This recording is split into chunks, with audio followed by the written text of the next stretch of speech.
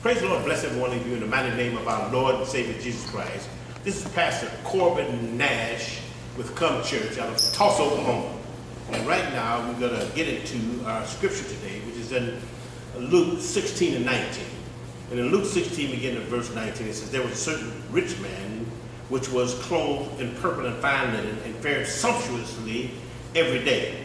And there was a beggar named Lazarus, which was laid at his gate full of sores and designed to be fed with the crumbs which fell from the rich man's table. Moreover, the dogs came and licked his sores.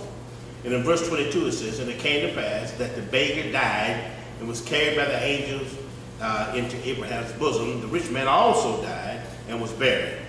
And in hell he lifted up his eyes, being in torments and seeing Abraham afar off and Lazarus in his bosom.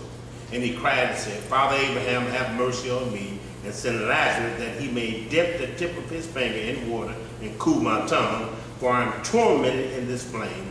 But Abraham said, Son, remember that thou in thy lifetime receivest thy good things, and likewise Lazarus evil things. But now he is comforted, and thou art tormented.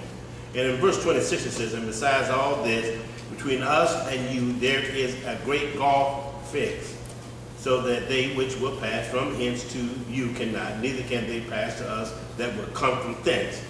Then he said, I pray thee therefore, Father, that thou wouldst send me into my father's house, for I have five brethren, and he may testify unto them, lest they also come into this place of torment. And Abraham said to him, They have Moses and the prophets, let them hear them.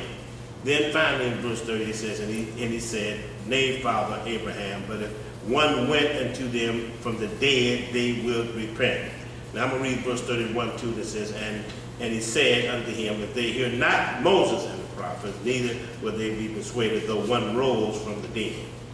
Now, praise the Lord, bless you. Uh, we, we, this is a continuation of uh, study we have going called Who Are You?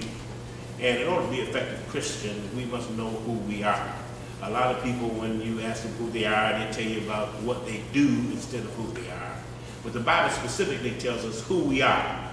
Uh, we are royal priesthood, we are holy nation, we're peculiar people, we're ministers of reconciliation. Amen. Amen. So last uh, few weeks we've been studying uh, who we were. Uh, before we got into who we were, we also studied uh, who we were not. And uh, in Ephesians 2 and 2, it says, we were, we were in a position where we walked according to the course of this world. In uh, Ephesians 2 and 12, it says, we were, we were without Christ being aliens. In Ephesians 5 and 8, it says, ye were sometimes darkness. And in 1 Peter 2 and 25, it says, for ye were as sheep going astray, but are now returned to the shepherd and bishop of our souls. So we were as sheep going astray. Some man once said that if you know if you put a sheep in an open field and it's good things to eat, most sheep will uh, eat themselves lost. In other words, they never look up. You know, they just continue to eat. And a lot of times in the world system, we were lost. And uh, we didn't know which way to go. We didn't have a shepherd. And we, we were lost. Amen. So we were like sheep, lost. Amen. But then uh, we discussed the fact in 2 Corinthians 5 and 17 uh, that if any man be in Christ Jesus, he's a new creature. Old things passed away, behold, all things have become new. So all those old things have passed away, all things have become new. Praise the Lord, amen. And then we uh, uh, went on to explain further that uh, we are trichotomous. In other words, we're three-part entity. We're spirit, soul, and body. Uh, in 2 Corinthians 4 and 16, it says, For which cause we faint not, but though our outward man perish, Yet the inward man is renewed day by day. He's talking about the spiritual man.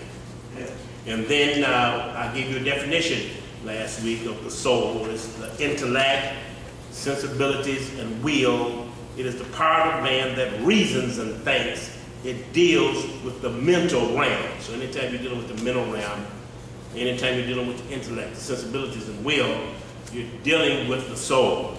And then finally, uh, uh, the Bible mentions the outward man. Second Corinthians 5 and 1 says we so we know that if we if our earthly house of this tabernacle were dissolved, we have a building of God and house not made with hands, eternal in heaven. Praise the Lord. Amen. So the Bible lets us know that we're trichotomous. In other words, we're a three-part entity. And in the book of Romans, it lets us know what to do with it. Because in Romans 1, uh, 12 and 1, it says, I beseech you therefore, brethren, by the mercy of God, that you present your bodies a living sacrifice, holy, acceptable unto God, which is your reasonable service. In other words, that's the least you can do. And be not conformed to this world, but be transformed by the renewing of your mind, that ye may prove what is the good and acceptable and perfect will of God. And then finally, we went into the book of Luke, which we started today, Luke 16 chapter, beginning in verse 19 through verse 31. In Luke 16 chapter, it tells us or gives us an example where you had two people, uh, the rich man and Lazarus. And the Bible describes the rich man as one which was clothed in purple and fine linen and fared sumptuously every day. day. And he described Lazarus as the beggar, which was laid at his gate full of sores. Now, I was uh, uh, talking about this last week, and we know the way the story goes, uh, that both men died. Because in verse 21 it says, And the design to be filled with the crumbs was fell from the rich man's table. They talk about the uh, Lazarus. He said, Moreover, the dogs came and licked his sores. And then in verse 22 it says, And it came to pass that the beggar died and was carried by the angels unto Abraham's bosom. The rich man also died and was buried. And he lived, and in hell he lifted up his eyes. So we see that Jesus is telling a story here, and uh, the place, praise the Lord, amen, he's telling the story here, and the place that, uh, that he's telling about is that after two men died, they end up in hell. That's right. Amen. And uh, if you look at the word hell, I mean, in the Greek, you see that that Greek word is Hades. And the Hades, is, uh, uh, is, is the definition of Hades is the unseen world. That's right. Praise the Lord. Amen. So we see that the, the scene here was in hell or Hades, depending on whether you use the English or Greek. And uh, we, we see that on hell, it, it tells you a little bit about hell because in, verse 26, uh, and, and uh, it tells us, it says that, uh, uh, it says that in verse 26, it says, but all, besides all this between us and you, there is a great gulf fixed so that they, uh, for they which will pass from thence to you cannot, neither can they pass to us that would come from thence. So he was telling us that in Hades is a great gulf fence. And based upon the story, one part uh, of that, in other words, hell has two compartments, you might say. And one compartment is paradise or Abraham's bosom, and the other compartment is a place of torment. So in this particular story, uh, Jesus was telling us that, you know, two both men ended up in Hades. Now, last week I told you that this place was there until, uh, and Hades still exists. But, uh, but uh, last week I was telling you that this is the way things used to happen before the death, burial, and resurrection of our Lord and Savior Jesus Christ. That's right. Okay, so before the death, burial, and resurrection of our Lord and Savior Jesus Christ, everybody used to go to Hades or to hell. Amen. And there was a righteous side of hell, which we call paradise, and there was a place of torment. Okay? But what I, I failed to tell you is that uh, uh, today we do not have to go uh, uh, to Hades. That's right. Praise the Lord. Amen. Uh, today, all believers go to heaven. Okay?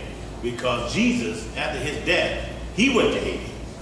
And he emptied Hades, the righteous side of Hades out, That's and right. led captivity captive. That's And right. I'll, and I'll show you that in a minute. And He led captivity captive. So today, if you die as a Christian, you go directly to heaven. That's right. Praise the Lord. Amen. Now, how do you know we're going to heaven? Well, in 2 Corinthians, look at 2 Corinthians 5 and 8.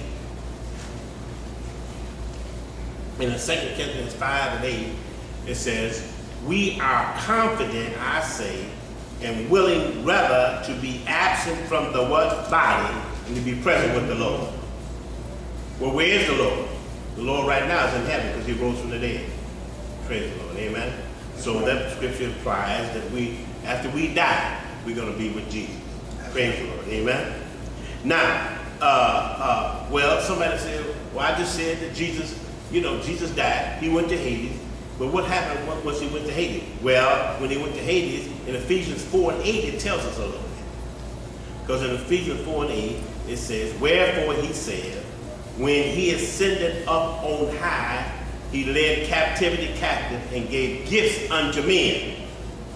Now that he ascended, what is it but that he also descended first to the lower parts of the earth?